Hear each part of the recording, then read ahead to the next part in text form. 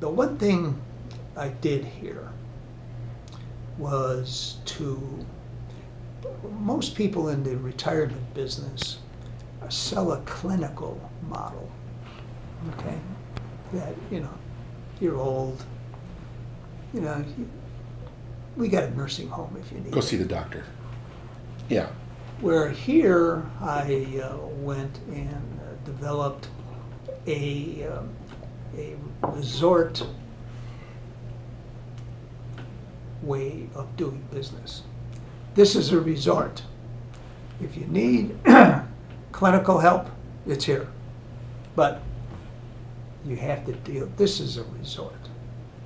So we, uh, we started it, building a swimming pool, building an auditorium. We have 85 clubs and organizations here that the residents run. So when I started, I says, anything you want to start, you let me know. Come on in.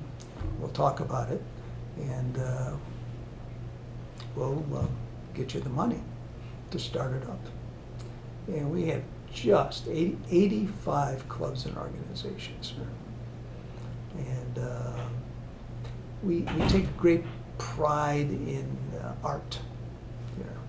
We have uh, some of the, lar- the largest collection of Chihuly here. We have three very nice pieces here. There's a nice- People ask me, are you going to uh, continue to grow? I said, no. I says, we're going, right now our geographical limits are what they are, 140 acres. Oh, right. I says, however, what I am going to do is improve everything if something needs to be torn down, I'll tear it down and rebuild it. What are you going to remember most about this time? A great board I have. I mean, these, these people are just doctors, you know, they're just uh, business people. Uh, they're everything, real estate people. Uh, president of this company, president of that company. But they have the people here, the residents here, in their heart. They're here for them. They really are. I mean, they, they truly are captains of industry. Okay, and, and uh, doctors, doctors. But uh, they, they're really, they really care about these people. And that's, that's a very important thing.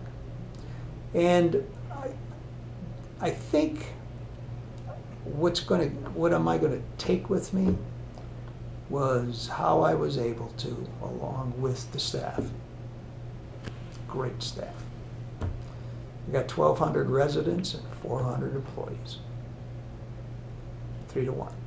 Yeah. That's a good, that's a pretty damn good ratio. Yeah. But the the way um, I remember is how we turned this place around.